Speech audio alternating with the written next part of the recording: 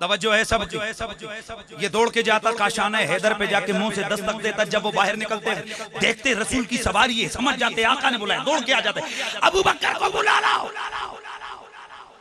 सीधे सरकार सिद्दीक अकबर की बारगाह में, मेरे उमर को बुला लाओ।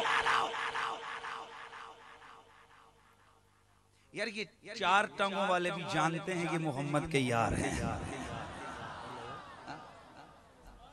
ये जानते हैं ये मोहम्मद अरबी के यार है गुलाम है। जिसका नाम लेते आका उसी के दरवाजे पे जाता और बुला के ले आता। तवज्जो रखना है सबने। बुला के ले आता सवाल ये पैदा होता है कि अब यहाँ पर बाहर एक गदा बंधा हो उसको आप कहें कि जादर मलक साहब को बुला के ले नाजम साहब को बुला के ले एस एच ओ साहब को बुला के लिया फुलाने को लेके। बाबा जानवरों को क्या पता नाजम क्या होता है फुला कौन है फुला कौन है मलक कौन है चौधरी कौन है राजा कौन है वाह। मालूम नहीं है। सवाल ये पैदा होते कि इसको कैसे पता चल जाता आका कहते जिसका नाम लेते उसी के घर पे जाता वहीं पे बुला के लाता। इमाम आलूसी और हज़रत इमाम जलालुद्दीन सयूती। आप फरमाते हैं दरअसल पहले तो गदा था ना बेशूरा था। और जब नबी ने सवारी के लिए चुना शहूर आ गया था। नबी ने सवारी के लिए चुना। आका के कदम मुबारक लगे। आका सवार हुए तो इसमें क्या आ गया? शौर तो चार टांगों वाले को पता चल गया कि मोहम्मद आखिरी है। और वो दो टांगों वाला जो हिंदुस्तान के कादियान के शहर में पैदा हुआ वो तो इस खोते से भी परा निकला। जिसका नाम है मिर्ज़ा गुलाम अहमद कादियानी। हज़रत गिरामी तवज्जो से समाज फरमाना है। खत्म नबुवत मुसलमानों का कतई यकीनी और अव्वली आखिरी अकीदा है। बेशक बेशक। और इस पर पूरी उम्मत मुस्लिमा मुत्तफिक है कि जो शख्स खत्म नबुवत को नहीं मानता वो कायनात का बदतरीन अद्दे बोले हो अद्दे बोले हो अद्दे बोले हो। मैं उन जनाब वाला तो नुकरी बोली हो ऊँचा बोलो। वो कायनात का बदतरीन काफिर है। और मेरे रसूल ने ऐलान ही फरमा दिया था, मेरे आका ने फरमाया, ओ सुनो, मेरे बाद मेरे बाद मेरे बाद, तीस दज्जाल आएँगे, कज्जाब आएँगे। झूठे कज्जाब कितने हाउ तीस, थर्टी, तीस आएँगे। कुल्लुहुम यज़अमूना।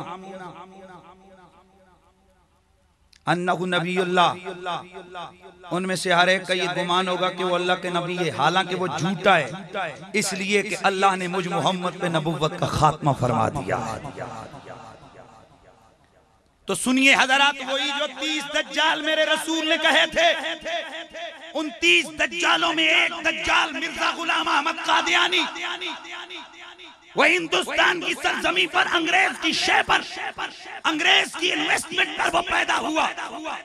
और उसने न सिर्फ़ ये के मेरे प्यारे नबी सल्लल्लाहु अलैहि वसल्लम की नबुव्वत की, इस अजीम महल में दरारें डालने की कोशिश की, खत्म नबुव्वत के दरवाजे को तोड़ने की कोशिश की, बल्कि मिर्ज़ा गुलाम अहमद कादियानी ने वो बकवासात और वो कुफरियात और लगवियात पकी हैं कि जो उसके काफिर होने में शक करे, वो भी कायनात का चरलट किस्म का काफिर है।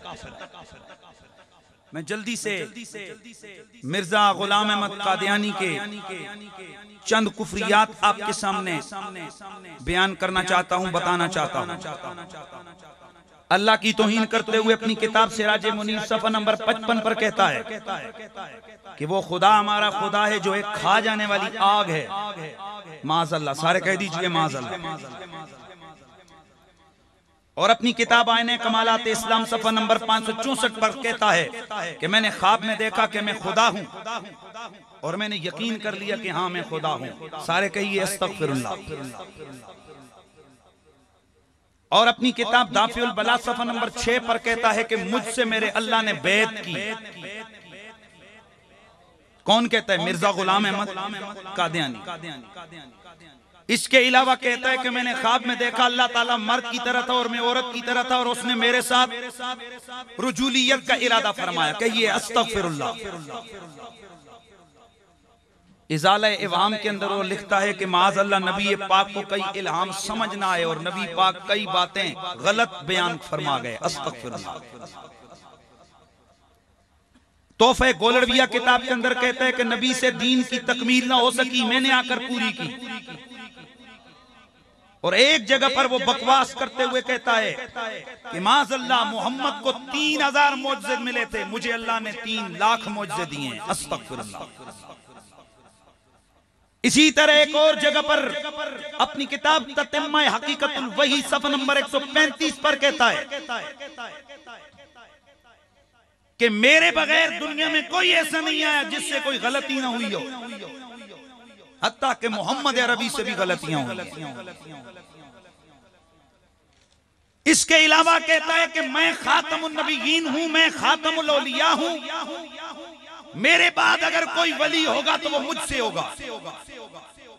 इसके अलावा एक जगह पर वो कहता है कि जिसको तुम हुसैन कहते हो इस तरह के लाखों हुसैन मैंने अपनी आस्तीन में छुपा के रखे हुए। और एक जगह पर लिखा कि महाज अबू बकर उमर क्या थे? वो तो मिर्ज़ा गुलाम अहमद की जूतियों के तस्मे खोलने के लायक भी नहीं थे। इसके अलावा लिखा कि जिस कदर मुझसे पहले अब्दाल कुतब, ये हकीकत नंबर तीन सौ इक्यानवे, ये कुतब उम्मत में जो भी गुजरे, मैं उन सारे वलियों, गोसों, कुतबों से अफजल हूँ। और माज अल्लाह, सुम्मा माज अल्लाह, सुम्मा माज अल्लाह। एक जगह पर लिखता है कि हज़रत ईसा सलाम तो कंजरियों के हाथ से उनकी गलती की कमाई का तेल अपने सर पे मलवाते थे। और अपनी किताब एजाजुल मसीह के अंदर लिखा माजल्ला सुम्मा माजल्ला कि हज़रत ईसा सलाम के बारे में लिखा कि वो तो मर गए और उनकी कबर कश्मीर में। इलाका बौन के बासियों मिर्ज़ा गुलाम अहमद कादियानी के वो बकवासात थे। उसके वो कुफरियात थे। कि शिया हो या देवबंदी सुन्नी हो या और मसालिक वाले। उस वक्त के तमाम मसलकों के जैद उलमा ने फतवा दिया कि मिर्ज़ा गुलाम अहमद कादियानी काफिर है। काफिर है काफिर है। कौन है बोलो? काफिर है। और सिर्फ़ वही काफिर नहीं उस मिर्ज़ा को मुसलमान समझने वाला भी काफिर है। चूँकि मिर्ज़ा के पीछे बैक पे थी ना गवर्नमेंट पूरी British government. Government government government. तो एक वो वक्त आया कि जब मिर्जे ने बकवासात करते करते तमाम लोगों को इतना परेशान किया कि सारे मसलकों वाले परेशान हो गए। अब क्या करें, इसका नाटका कैसे बंद करें? सबकी नज़रें गोलड़े के चाँद पे जाकर ठहर गए ये सारे ये वाबी देवबंदी, ये देवबंदियों के बड़े बड़े मौलवी, ये शिया दरात के बड़े बड़े मुश्तहिद ये गैर मुकल्लिदों का सनाउल्ला असरी, इनका वो खानपुरी काजी अब्दुल अहद खानपुरी, ये सारे बड़े बड़े गए, जाकर बैठ गए, आए गोलड़े के मेरे अली, दीन तुम्हारे नाने का है, अब हमारी बात यहाँ ताल नहीं करती पूरी ब्रिटिश गवर्नमेंट इस मिर्जे की पुष्प है आप करेंगे तो करेंगे आपने बाजू ऊपर किए आपने फरमाया हाँ करबला में भी नाने ने बचाया था अब भी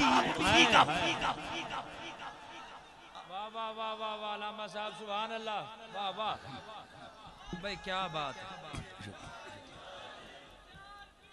हजरात कद्र कौन गोलड़े कबीर जिस वक्त मिर्ज़ा कादियानी ने मुकाबला तहरीरी किया कि मेरे साथ तहरीर का मुकाबला करो।